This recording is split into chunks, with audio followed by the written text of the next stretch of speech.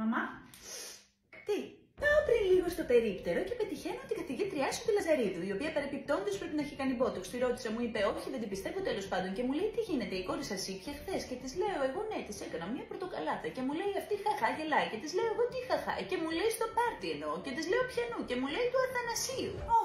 Όχι. Και της λέω αρχικά, κυρία Λαζαρίδου μου, ποιος είναι ο Αθανασίου. Και μου λέει, Μα καλά, δεν ξέρετε τους μαθητές της κόρης σας. Και της λέω, Αυτό είναι το πρόβλημα τώρα. Και μου λέει, «Ε, Ποιο είναι το πρόβλημα, Ότι έχεις κάνει μπότοξ. Πήγα να της πω, αλλά δεν το είπα, κρατήθηκα. Πάλι καλά. Μα καλά μου λέει αυτή, δεν ξέρετε ότι το παιδί σας πήγε στο πάρτι και εγώ εκείνη τη στιγμή για να υπερασπιστώ την εικόνα μου ως μάνα και γυναίκα σε αυτή την κοινωνία, της λέω φυσικά και το ήξερα, αλλά το ξέχασα. Και μου λέει αυτή τέλος πάντων, φεύγω εγώ τώρα, έχω κάτι δουλειές. Μπορεί να πάει να κάνεις ό,τι θέλεις, πήγα να της πω τι με νοιάζει εμένα. Αλλά δεν το είπα ούτε αυτό. Δόξα τω Θεώ. Και αποφασίζω εγώ, ως μια σοφή, πολιτισμένη και δημοκρατική θα έλεγα μητέρα, να ψάξω το κινητό σου και φυσικά ανακαλύπτω ότι όχι μόνο πήγες στο πάρτι κρυφά επειδή δεν θα σε άφηνα να πας, αλλά με τον Αθανασίου τα έχετε κιόλας και εγώ δεν ξέρω τίποτα.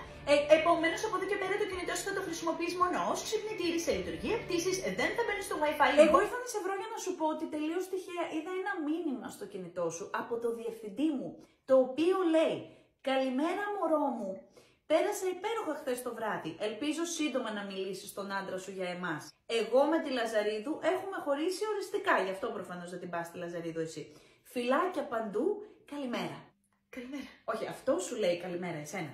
Α, να είναι καλά. Μπορώ να πάρω το κινητό μου πίσω τώρα; Ναι, φυσικά. Και μπαίνω και Wi-Fi κανονικά, ε. Εννοείται. Παρεπιπτόντω, η κυρία Λαζαρίδου δεν έχει κάνει μπότοξ. Έτσι. Ε, φυλάκια παντού. Καλημέρα. Επίσης.